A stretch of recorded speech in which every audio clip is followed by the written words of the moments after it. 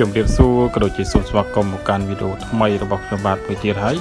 សម្រាប់វីដេអូនេះផងដែរខ្ញុំបាទនៅតែលើកវីដេអូអាឈើដើម្បីចែកជូនបងប្អូនទស្សនាផងដែរអញ្ចឹងក្នុងការជ្រៀកឈើយើងតែងតែប្រើបុរាណយើងប្រើដៃអាដោយអាដោយដៃហើយអឺពិតជាចំណាយ ពេលវេលាក៏ដូចជាចំណាយកម្លាំងខ្លាំងមែនទែនសម្រាប់ការអាដៃអញ្ចឹងដោយសារបច្ចេកទេសជឿនលឿននៅក្នុងសម័យទំនើបនេះគឺយើងមិនសូវជាប្រើដៃទេបងប្អូនដោយសារវាខ្ជិះខ្ជាយពេលវេលាក៏ដូចជាប្រើកម្លាំងច្រើនអញ្ចឹងយើងមកប្រើលើម៉ាស៊ីនបច្ចេកទេសក៏ដូចជាម៉ាស៊ីនទំនើបវិញដែលងាយស្រួលក៏ដូចជាពន្លឿនការងាររបស់យើងនឹង លឿនទ្វេដងផងដែរសម្រាប់យើងប្រើម៉ាស៊ីនបែបនេះអញ្ចឹងអាម៉ាស៊ីននេះគឺជាប្រភេទម៉ាស៊ីនធំតែម្ដងបងប្អូនហើយជ្រៀកឈើគឺលឿនរហ័សទាន់ចិត្តតែម្ដងសម្រាប់ជ្រៀកឈើមួយផ្លូវមួយផ្លូវគឺលឿនលឿនខ្លាំងមែនតើលឿនរហូតដល់រឹបសិបដងនៃបបទុយពីការអាឈើដោយដៃអញ្ចឹងណាដែលអាអាដៃហ្នឹងគឺវា ចំណាយកម្លាំងក៏ដូចជាចំណាយពេលយូរមែនទែន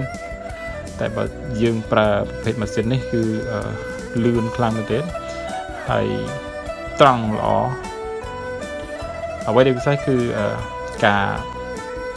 កំណត់ក៏ដូចជាការអឺកំណត់ម៉ែត្រក៏ដូចជារង្វាស់រង្វិលរបស់គេគឺគេប្រើដោយគ្រឿង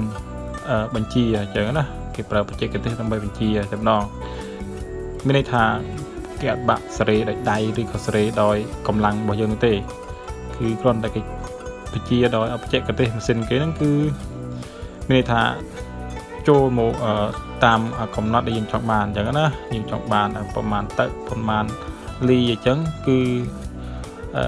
វានឹងរត់មកអូតូម៉ាទិកតែម្ដងអញ្ចឹង យើងមើលទៅគឺលឿនលឿនរហ័សទាន់ចិត្តខ្លាំងមែនទែនសម្រាប់ប្រភេទម៉ាស៊ីនអាចជើបែបនេះចឹងហើយបានខ្ញុំតែងតែលើកវីដេអូនេះដើម្បីចែកជូនដល់បងប្អូនដើម្បីទស្សនាក៏ដូចជាបានយល់បានដឹងអំពីបច្ចេកទេសថ្មីសម្រាប់ជំនាញអាចឈើក៏ដូចជាកាត់ឈើជ្រៀកឈើចឹងដែរព្រោះវាមើលទៅគឺសាមញ្ញសាមញ្ញប៉ុន្តែរហ័សទាន់ចិត្តតែម្ដងបងប្អូន ហ្នឹងហើយបងប្អូនខ្ញុំបង្ហាញបងប្អូនតែប៉ុណ្ណេះដោយសារតែវីដេអូរបស់ខ្ញុំគឺឈានចូលដល់ទីបញ្ចប់តែប៉ុណ្ណេះជាចុងក្រោយខ្ញុំបាទសូមអរគុណសូមជម្រាបលា